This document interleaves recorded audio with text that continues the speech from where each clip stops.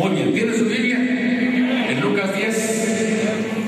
Dice que aquí un intérprete de la ley se levantó y dijo para probarle, maestro, haciendo qué cosa heredaré la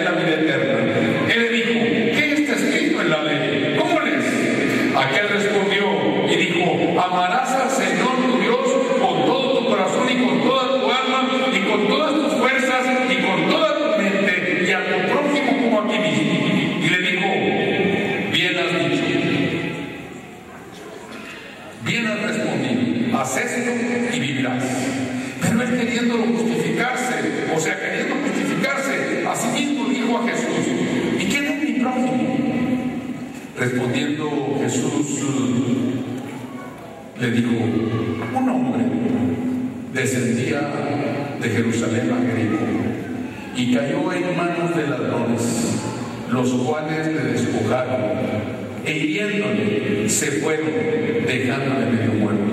Aconteció que un sacerdote descendió también por aquel camino y viéndole pasó de lado. Asimismo, un levita, llegando cerca de aquel lugar y viéndole pasó de lado. Pero un samaritano que iba de camino vino cerca de él y viéndole fue movido a misericordia y acercándose vendó sus heridas echándole aceite de vino y poniéndole en su cabalgadura lo llevó al mesón y cuidó de él otro día al partir sacó dos denarios y los dio al mesonero y le dijo cuídame y todo lo que gastes de más, yo te lo pagaré cuando regrese. ¿Quién pues de estos tres te parece que fue el prójimo de aquel que cayó en manos de ladrones? Él le dijo, el que usó de misericordia con él. Entonces Jesús le dijo, ve y haz lo mismo. Quisiera dar un resumen de todo el pasaje para que lo vayamos siguiendo. Quiero que tengan su Biblia ahí. A los laicos les está permitido hacer copia de este mensaje y pueden predicarlo también donde quiera que vayan. Pueden ser mujeres, pueden ser jóvenes, pueden ser varones, pueden predicar. Y algún pastor que se le antoje puede también hacerlo. ¿Ok? Pero dice el pasaje, aquí vemos un hombre habla del pasado. Estoy haciendo un resumen. Un camino, ladrones, un sacerdote, un levita, un samaritano,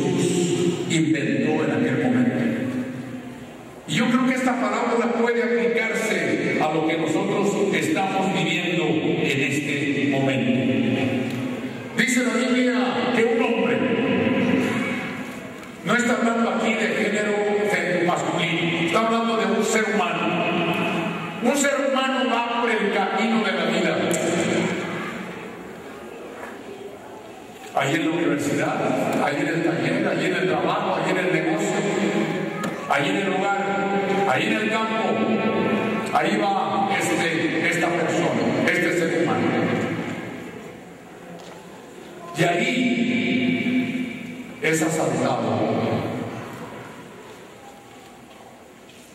Y la Biblia dice que, que el ladrón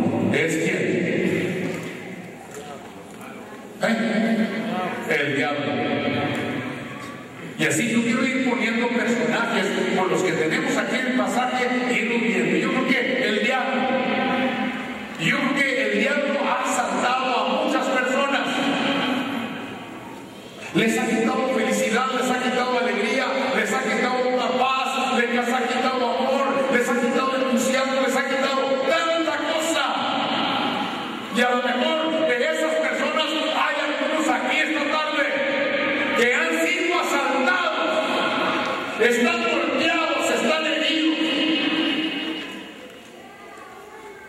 Dice la Biblia que aquel hombre fue asaltado y lo dejaron medio muerto. Yo no sé si alguna vez ustedes han estado en el lugar que dice, ¿cómo me gustaría morirme mejor? ¿Han tenido esa experiencia? Me gustaría mejor que Dios me quitara la vida porque ya perdí a mi esposo, ya perdí a mi hijo, ya, ya perdí a mi madre, ya, ya esto, ya pasó esto otro, ya pasó aquí, y a veces nos vemos atormentados. Este hombre estaba así. Y dice la Biblia que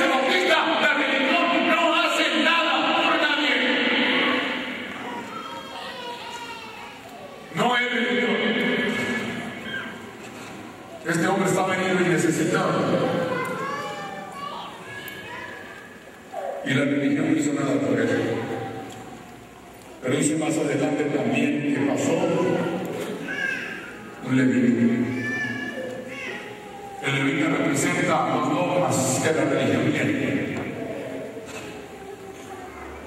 Los dogmas que las iglesias diferentes hemos inventado. A veces nosotros decimos que no tenemos, déjame decirle que yo tengo una buena listita de algunos dogmas que tenemos, que no son bíblicos. Y es que si doy dinero para los pobres, entonces ya. Si voy al templo, entonces ya.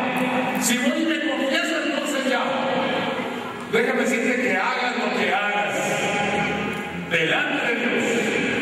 Eso no hay dice. ¿Qué dice? ¿Qué dice que hicieron los dogmas? Las leyes. Lo que hacemos nosotros. Nada. ¿Se está entendiendo? Vamos caminando juntos. Aquí estamos. No hace nada. No hubo nada.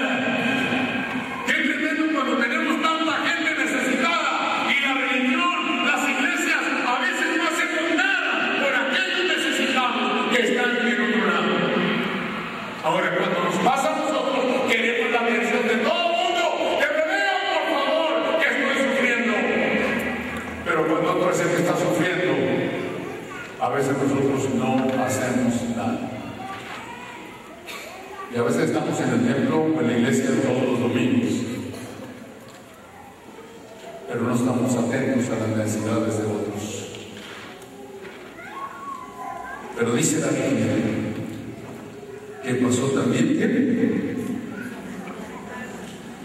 un sacerdote, digo perdón, pasó un samaritano. ¿Cómo se titula ahí el pasaje en sus Biblias? El buen samaritano. Yo no sé quién inventó eso.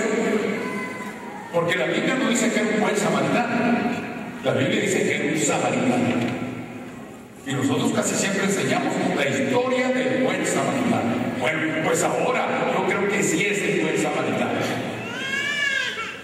Y dice que este hombre, viéndolo, me imagino que el hombre estaba allá abajo del barranco donde lo habían dejado los ladrones todo deshecho, malherido, golpeado.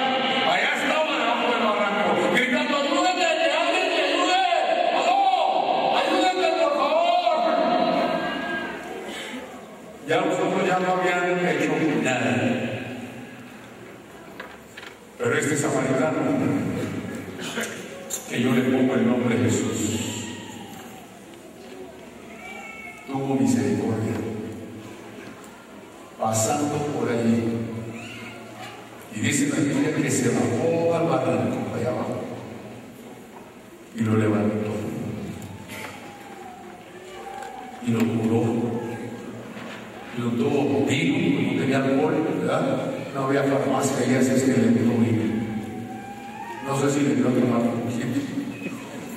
pero le gustó tratando de aliviar el dolor que tenía. Pasó Jesús. Y yo creo, mis hermanos, que en esta semana, por aquí, por Tehuacán, pasó Jesús también. Y muchos de estos 400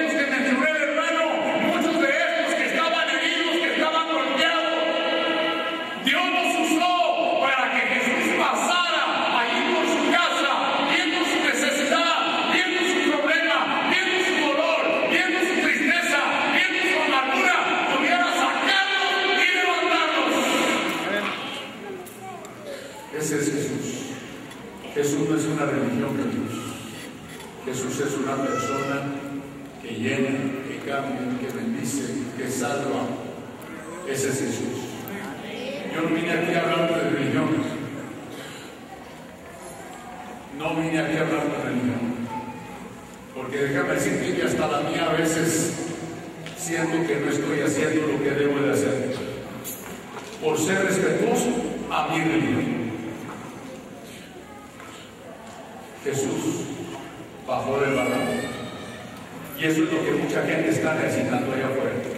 Y la está necesitando algunos, a lo mejor están aquí también. Llegaste al lugar perfecto, en el tiempo perfecto, para oír acerca del buen samaritano, acerca de Jesús. Que este Jesús no importa cómo esté tu vida, no importa cómo estén tus emociones, no importa cómo estén tus circunstancias, no importa nada.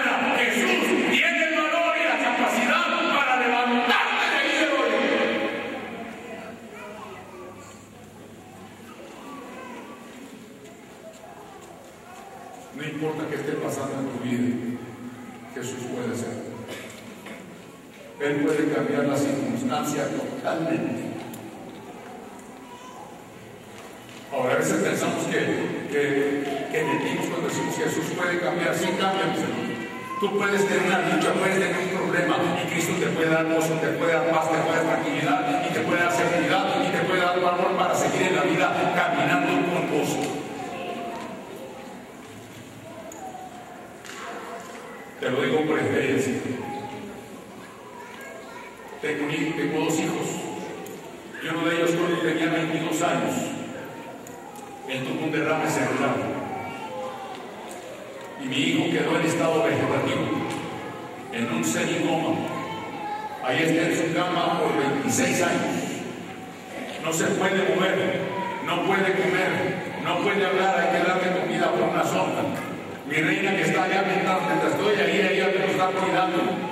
Y entonces ahí mis hermanos hay que voltearlo cada dos horas, hay que darle comida, hay que moverle los dedos, hay que, que quitarle de sus saliva si se le cae, todo esto es. Pero déjame decirte que Jesús me ha dado alegría y bendición.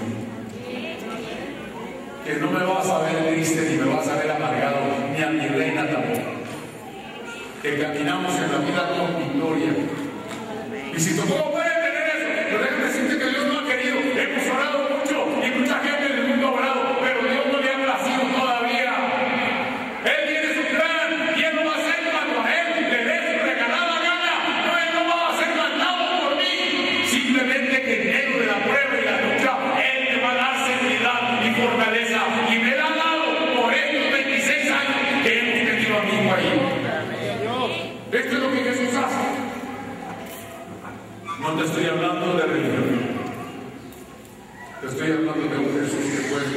y puede bendecirte. Pero a veces cristianos, algunos cristianos, hermanos que ya conocemos de Jesús, caminamos amargados y tristes y aburridos y miserables aquí. No vamos a caminar en victoria en Cristo Jesús. Tenemos que ir en victoria. Y esa victoria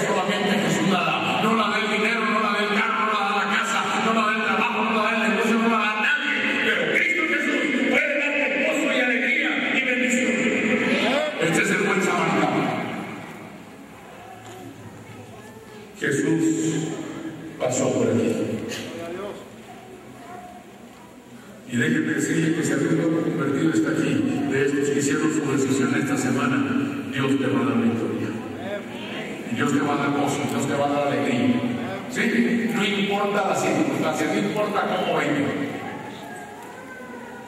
A veces mi reina me pregunta, ¿y hasta cuándo? Yo no sé, yo no soy Dios, solamente Dios sabe hasta cuándo. En tanto que esto pase, tú y yo vamos a seguir en victoria, vamos a seguir alegres, vamos a reír, vamos a ser felices, vamos a ir adelante, cuidando a mí. Lo tuve por dos meses, parte de noviembre, diciembre y parte de enero en el hospital. Se le aparta de todo lo que tiene por la, por la situación de que no, no se mueve, se le quedó esta pierna. Y los médicos nos anuncian, no trae caso, que ya no le arreglemos la pierna porque posiblemente su cuerpo está débil y entonces no va a dar capacidad para que le arreglemos la pierna. Es posible que le tengamos que hacer tres o cuatro operaciones para poderle arreglar la pierna. Y cuando y si acaso resistiera cuando le arreglemos la pierna, entonces tu hijo no va a usar la pierna. ¿Para qué le arreglamos la pierna? Doctor, tiene toda la razón. Muchas gracias. Cuando mi reina sabe esto, llora y toda la cosa, llore todo lo que quiera, pero vamos a seguir en victoria. Dios va a seguir con nosotros, no importa lo que pase. ¿Pueden decir amén? No importa lo que pase, Dios te va a dar.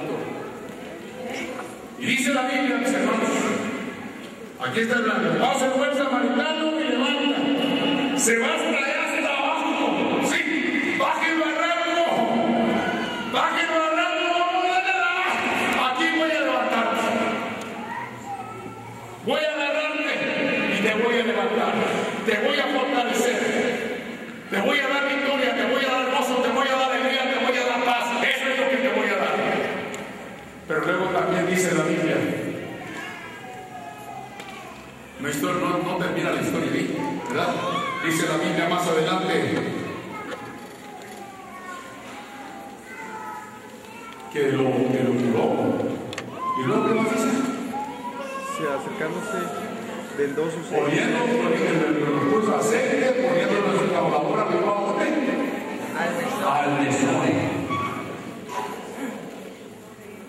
El mesón era un de hotel como donde había agua, donde había comida para los caballos, para los camellos, donde ellos viajaban. Y donde la persona podía descansar, relajarse, bañarse, todo así es que el mesón. A este yo le pongo iglesia, y en este caso le pongo iglesia bautista. Y este buen samaritano trae a este pobre que acaba de llegar, estos 400 que acaban de llegar, algunos muy heridos, algunos muy maltratados. Y dice la Biblia que lo puso en el mesón. ¿Y luego qué más? Y cuidó de él. Ahí estaba cuidando, ahí estaba pendiente. ¿Y luego qué más dice? El otro día, al partir sacó dos denarios. El buen saca ya algo para decirle, ¿sabes qué? Te voy a dejar esto. ¿A quién se lo dice? Al mesonero. Este es el pastor Adán Mazanano. Este es el pastor Sergio Rebollar. Aló. Aquí está. Pastor, aquí te traigo estos. Tú tienes empleados aquí. Vas a cuidar. Era un hotel, era como un hotel. Y déjenme decirles, hermanos, yo he estado en hoteles donde no hay, nunca he conocido a gerente. Nunca. Pero sí he conocido a las camareras, he conocido a los que están en el restaurante, he conocido a los que, a los que limpian allá afuera, he conocido. Pero dice la Biblia que lo trajo al mesonero. Te voy a dar lo que traigo. Te voy a dar bendición. te voy a dar vida eterna, te voy a dar gozo, te voy a dar alegría a mí. Y no para que tú la repartas con otros. Te voy a dar todo esto. Yo me tengo que ir, dice el buen samaritano. Yo me tengo que ir. Me voy a ir. Pero yo voy a volver. Y voy a volver pronto. Quiero que por favor, en cuanto vuelvo, tú inviertas todo lo que haya que invertir por estos que están heridos. Por estos que están maltratados. Tú des el tiempo, tú des el dinero, haz todo lo que necesitas hacer. Yo voy a estar contigo. Te voy a ayudar, te voy a apoyar. Aquí está la iglesia, aquí está el pastor y aquí están los empleados del mesón. ¿Cuántos empleados del mesón hay aquí? Gloria. ¿Están entendiendo esa compra? Entonces dice, hermanos, esto es. Sí, cuídate, pero luego dice, cuídate. Cuídate. Yo me voy a ir y cuando regrese, lo que gastes de más, yo te lo pagaré. ¿Se está entendiendo, hermanos? La cruzada no ha terminado, ni va a terminar. Y yo espero, hermano que esto no termine hasta que Cristo vuelva. Hasta que ese buen samaritano regrese, entonces paramos. ¿sí? Ya cuando escuchen la trompeta y vean que los terremotos hay y todo el asunto, entonces es tiempo de que Cristo venga. Yo espero encontrarlos allá en el aire sin avión y sin nada, yo voy a volar para arriba. Sí.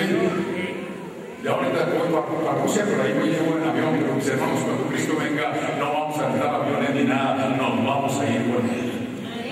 Sí. Cuídate. Cuídate. Cuando yo regrese, yo te voy a pagar todo lo que hayas en. ¿Estamos entendiendo?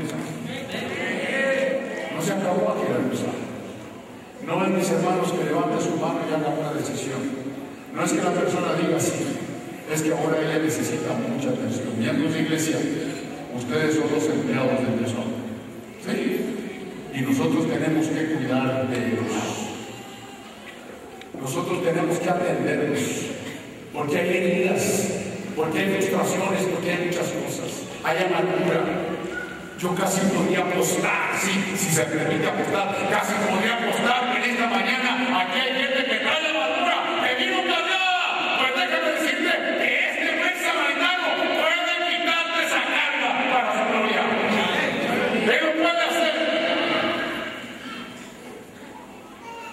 Vas a tener, vas a seguir con tu hijo, tu hija, tu mamá, tu papá enfermos. Déjame decirte, eso no es problema pero camina en victoria y con gozo con la vida. ¿Sí? Si yo no te platico lo que te platiqué, pues me ves con y traje que voy a Rusia el martes y que voy para acá y que voy para allá, pues déjame decirte, usted dice, no, ningún problema con este amigo. Pues él dice que, que no hay problema porque no, no, por eso te quise platicar la historia, porque sepas que hay circunstancias, hay en todas las vidas, hay circunstancias, mis hermanos, que están afectándonos. Pero una cosa es que nos afecten las circunstancias y otra cosa es que les hagamos a las circunstancias y que por las circunstancias nosotros seamos infelices. Yo soy persona gozosa y ustedes, los que me conocen, saben eso. Y me gusta contar chistes, y me gusta estar alegre, y me gusta estar feliz, y tengo que reír y nos reímos de cualquier tontera, pero estamos felices. ¿Entienden? Y que, que, queremos pasear, vamos a pasear, mi modo ahí agarramos a nuestro hijo, lo cargamos ahí en el carro y vamos a pasear a ver qué hacemos. Que queremos ir a cenar igual, vamos a cenar y nos agarramos a nuestro chaval ahora de 46 años y nos lo llevamos 47 años, cumple el 14 de abril y él dice, no, vamos a llevarlo. No hay tristeza. No me va a ver triste ni amargado. Ese, ese buen samaritano, ese Cristo fue el que cambió. Ese Cristo es el que me da el que da alegría, que me da victoria. Ese es el Cristo que yo predico. Mi Cristo no es de amargura, no es de tristeza, no es de fracaso. Mi Cristo es de victoria.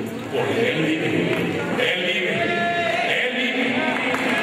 Ese Cristo vive. No es algo, mis hermanos, que, que estamos predicando en una religión. No es religión. Quítese esto de la mente. Cristo no es religión. Cristo es una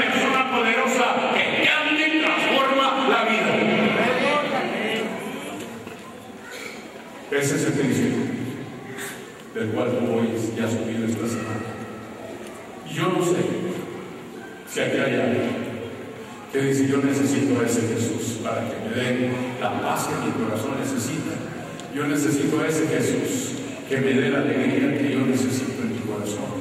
Yo necesito a ese Jesús que me dé el gozo que mi vida necesita, que mi familia necesita, que mi matrimonio necesita. Tu y yo quiero orar en esta tarde. Jesús, gracias porque tú nos das aquello que necesitamos. Yo puedo ver caras y cuerpos aquí esta tarde, Señor, pero tú conoces los corazones. Yo no conozco la necesidad de las personas, pero tú sí la conoces. Y yo quiero que si hay una mujer, algún muchacho, alguna muchacha, algún hombre, algún niño que está necesitado de tu cariño y amor